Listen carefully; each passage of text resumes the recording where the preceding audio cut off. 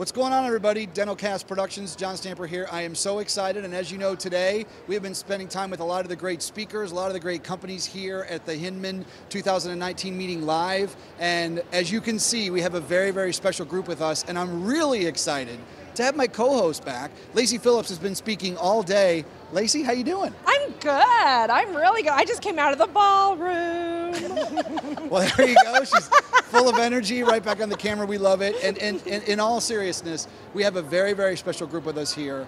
Uh, the Oral Cancer Cause, and we have Robin Morrison and Linda Miles and Amber Young, and they are here doing something very, very special. So we really wanted to have them on to talk about this great organization that they have put together for a very, very special cause. So welcome, ladies. Thank you. It's a very pleasure to have you. Thank you. I, I, I um, thank you first of all for waiting for me because they could have been interviewed at any time and i said please please please let me finish up today get down here to introduce the godmother of consulting and speaking linda miles and uh, I love you dearly. I've I've loved you forever, but it's so funny because as long as I've known you, you were going to retire.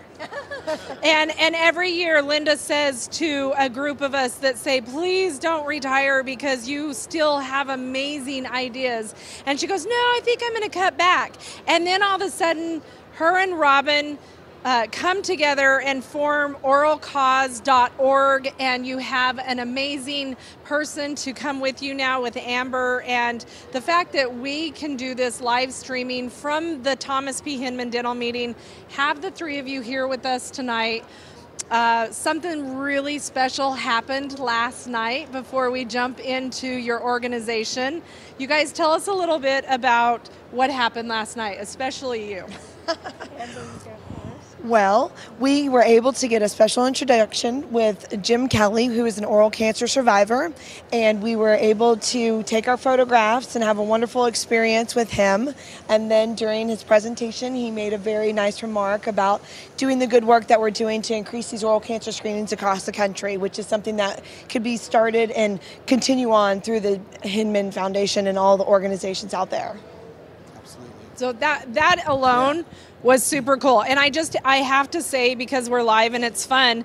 Uh, Linda Mile never she never walks through the front door. They snuck in through the back door, and uh, they got to meet Jim Kelly and take pictures with him. So that that was actually a lot of fun because it was true Linda Miles fashion. Robin was standing in the background like, "What do you think we should do?" And Linda goes, "We should walk in." and uh, they just walked through the back door to meet Jim Kelly, and it was amazing amazing. But I, we absolutely want to talk about your organization, your cause, blow a bubble. Um, Linda, Robin, tell us more, please. Go ahead, Linda. Thank you so much, Lacey. First of all, oralcancercause.org was started because my sister-in-law was with hospice with oral cancer in 2012. I met Robin at a dental meeting and we knew each other, but not really. And we started talking about the brother Mike who had just passed away. And I said, you know, Robin, with our 80 plus years of dentistry and this young woman's marketing ability and her marketing ability and her uh, energy, we can start something and give back to the profession of dentistry that's been so good to both of us in honor of Mike and Charlotte. So that's how OCC started, and I'm going to let Robin explain our mission and uh, our purpose. Sure. Thanks, Linda. So, we are a nonprofit and we were founded in 2013 with the mission and the purpose of increasing awareness about oral cancer, the importance of early detection and treatment. Because if both of our loved ones had been diagnosed sooner and treated sooner, they may very well be here today. That is our passion, and even if we save one life, that it's all worth it. So that's that's our main mission as we raise funds. Our funds go to create educational material and then to also help families that may have the breadwinner that has been diagnosed and gone through treatment with oral cancer and may not be able to work or maybe not even be able to return to work ever. So, because of the support of so many of our colleagues that are here at this meeting, so many of the organizations, we are able to send checks to those families in need. So, for that, we're so very grateful. That's amazing. Mm-hmm. And Lacey, I have to tell you, We did have that prearranged with Jim Kelly. We didn't sneak in. Um, I think you had it prearranged to walk through the front door. oh door. yeah. Oh well. we did, but, but they told us the wrong room. Oh, okay. And then we could There hear you guys in the other room. Okay. So I, I just have to clear that up. Yes, okay. we would not do that in, on purpose. But we might. I think you know, one of the things Lacey and I talked about, we're so excited for, for all of you because, you know, we, for the Hinman meeting to allow us to do this, I think what, what we're really trying to share with people is that there are so many great messages that can be put out there about the great work that people are doing in dentistry. And to mm. do this, and like you said, Robin, I mean, one message gets out there to one person, and, you know, Okay, swap mics. And one thing gets out there to one person, obviously they can make a difference. And, and we're so glad that we have this opportunity for you guys to, to do that and to talk about that. Yeah, Absolutely. absolutely. Yeah. you. Thank you, The Yeah, and I, you know that one message that gets out there. I actually came into contact with the oral cancer cause through after my diagnosis in uh, 2015. I was all alone in the world with my cancer diagnosis. As diagnosed as the only person alive with that type, I went to GoFundMe on social media and Facebook to try to figure out what to do. And within the one day of my message being shared, I had a contact. They asked me if they could get my personal information. They thought they knew someone that could help me. And later that evening, I had my first phone conversation with the oral cancer cause. And ever since then, my life has been changed dramatically. The work that they put forth to help oral cancer survivors is far unsurpassed. Yep. So I just want to say thank you from the bottom of my heart for changing people's lives like myself. It's a gift to us to be able Take the mic. Take the mic. Take the mic. All right, no crying. There's no crying at the There's no crying at the Hinman. No crying when we're live streaming. Yes. You guys have a booth. You have a booth. You are here. Where are you?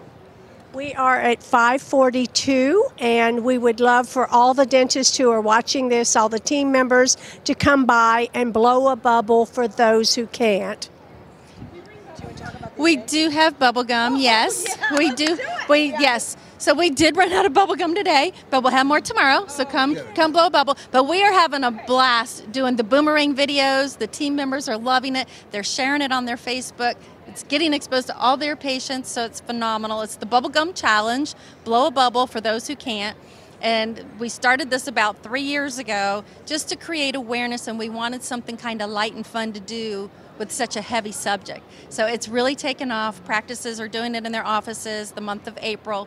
So you can still order your bubblegum boxes, so reach out to us.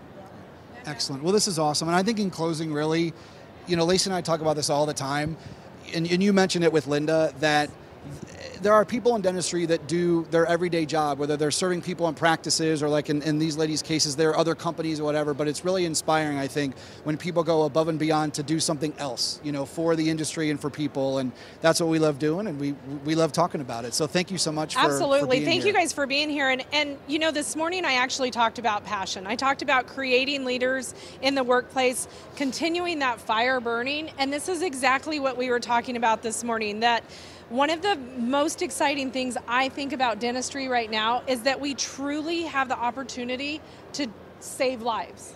Yes. We do to change lives and to save lives. And and look at how many years of uh, dentistry we have up here, uh, and we're still passionate. And there's something that everybody in the dental office, every single role that you play, you can find something to still be passionate about after Yep. all of this time. Absolutely. And I think this is an amazing cause. We would love for every single office that's here come by and visit the booth 50 542. 542 and um, meet Linda Miles first of all. May I say one thing? In dentistry, if you love what you do, you never retire, you simply retread. Ah, I, I think that's a That's how we're going to end it. That's yeah, a I'm, I'm not. I'm not following that. Thanks, everybody.